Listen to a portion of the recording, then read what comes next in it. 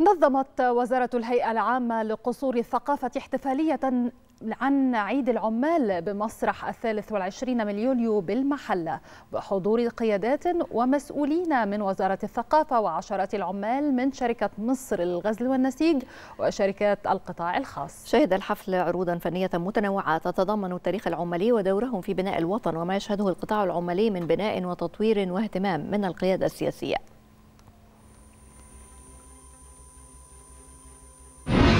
احتفالية عيد العمال السنة دي عاملين لها احتفالية كبيرة جدا واحتفاليات في كل محافظات مصر يمكن أكتر من معظم محافظات مصر فيها احتفاليات عروض فنية ومناقشات ومناقشات ومحاضرات حول عيد العمال وحول أهمية العامل والعمال في مصر وال...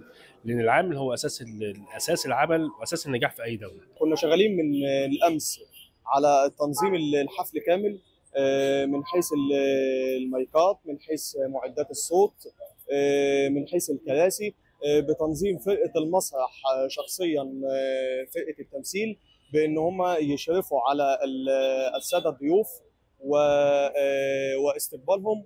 وده كان في حد ذاته طبعا شرف لوجود عيد العمال في مدينة المحلة الكبرى المدينة العمالية.